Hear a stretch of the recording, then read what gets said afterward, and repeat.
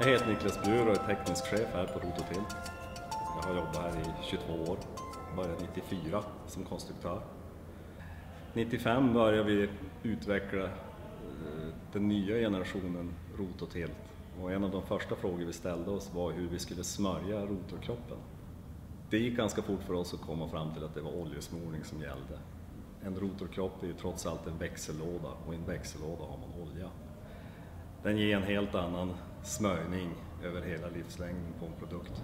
I ett underhåll så kan man hälla ut oljan och få med sig alla slitagepartiklar.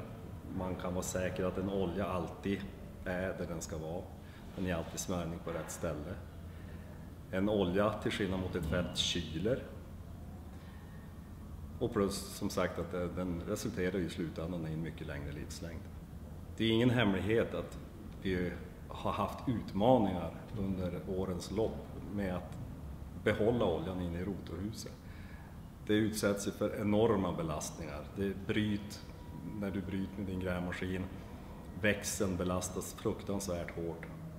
Men framförallt så alla rörelser gör det ju svårt också att få tätningarna att hålla tätt. Vi la ner enorma resurser och utvecklingskapacitet på att verkligen få det här att fungera.